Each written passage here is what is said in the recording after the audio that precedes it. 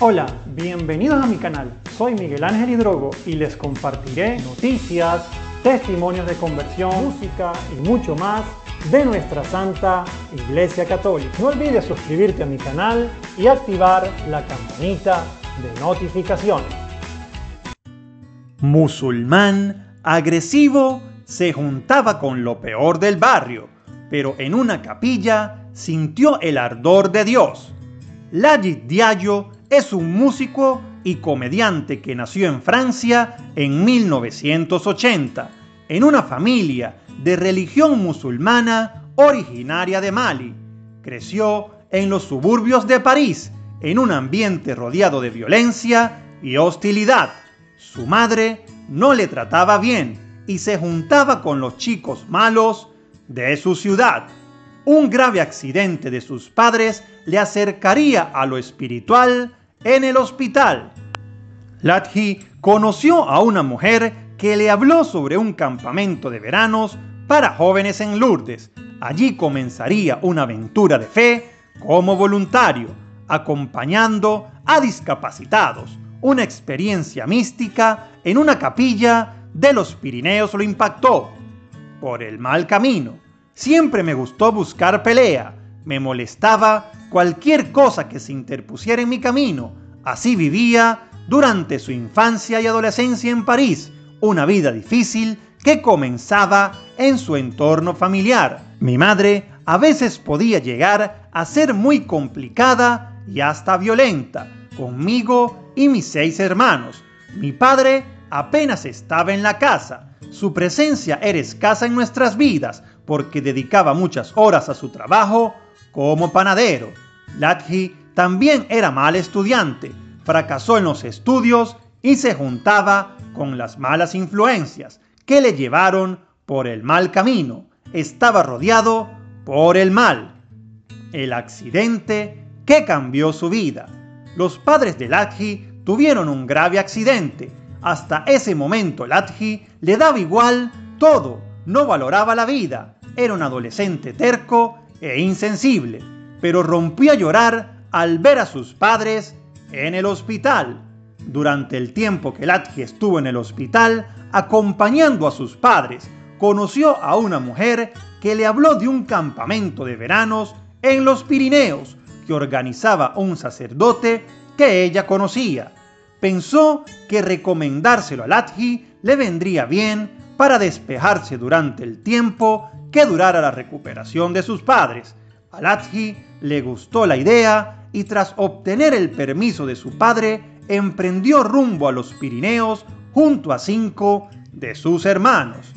El sacerdote que dejó huella en Latji. Y ahí estábamos cinco de mis hermanos y yo, bajo la autoridad de un sacerdote. Joseph recuerda Latji de su llegada.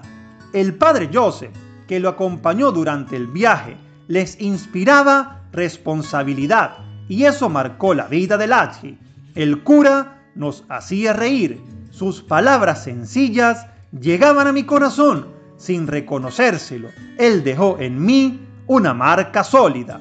A Lachi le llamó la atención ver tantos jóvenes católicos en la capilla, todos tan contentos, parecían dispuestos a creer.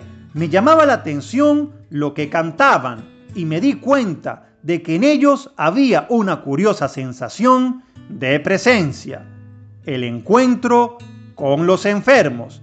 A medida que avanzaba su estancia en Lourdes, Lache y sus hermanos empezaron a sentir un deseo de hacer algo por los demás. El sacerdote decidió incorporarles en un grupo de jóvenes que van a Lourdes a acompañar enfermos discapacitados. Ellos, los enfermos, me fueron haciendo suyo.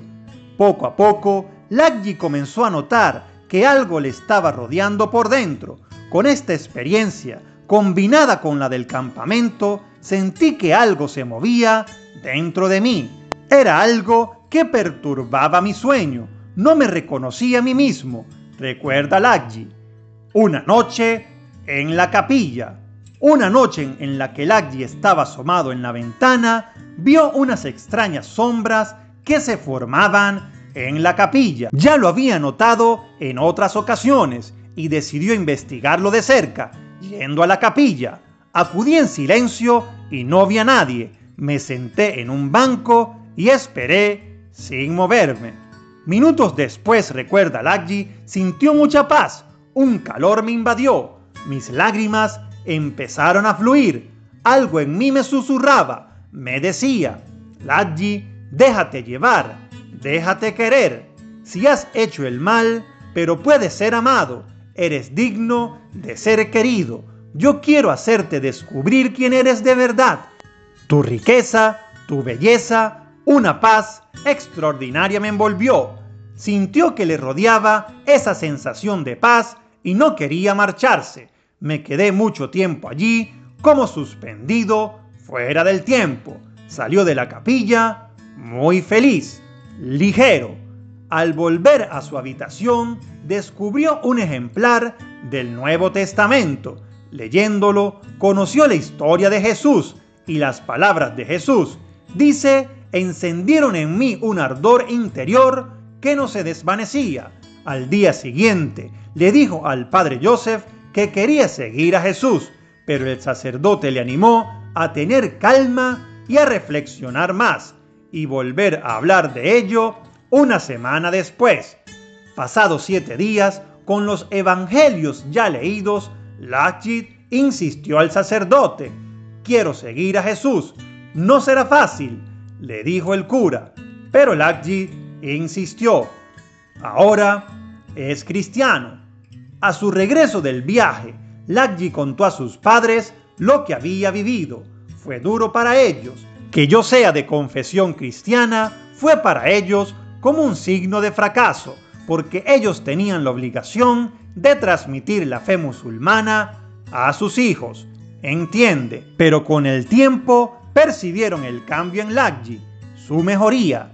Estoy más tranquilo y controlo mi agresividad. Dice hoy, Lagji Diliayo trata con cautela el tema de fe con sus padres.